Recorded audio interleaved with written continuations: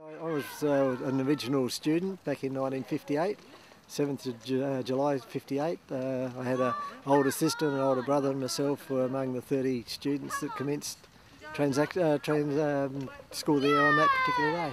Yeah, we just, uh, even, even after school there started, we still, in my time, we still uh, sent our lessons to Adelaide with the correspondence school and the teacher at Port Augusta School of the Air uh, were in contact with the correspondence school teacher to uh, both uh, working together to, to educate us.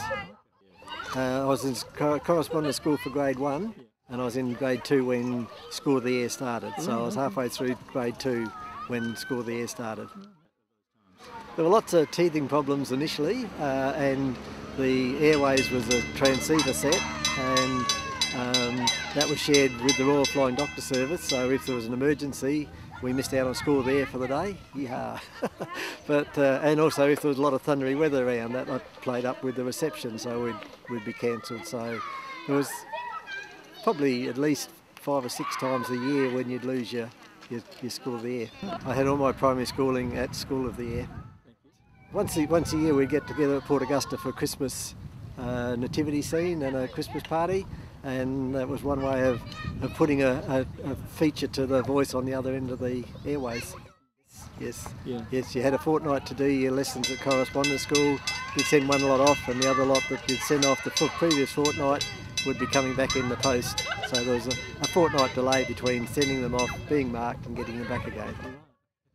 No, my mother, uh, with four children, put us all through, as well as looking after domestic chores, uh, was our, our governess, mentor.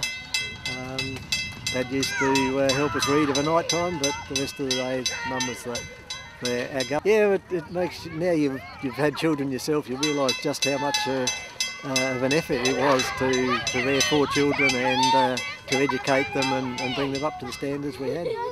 We were back there in 2008 for the 50 year celebration, the whole family, uh, and our original teacher, Miss Brown, came over. Miss Brown, she was then, uh, was in attendance as well.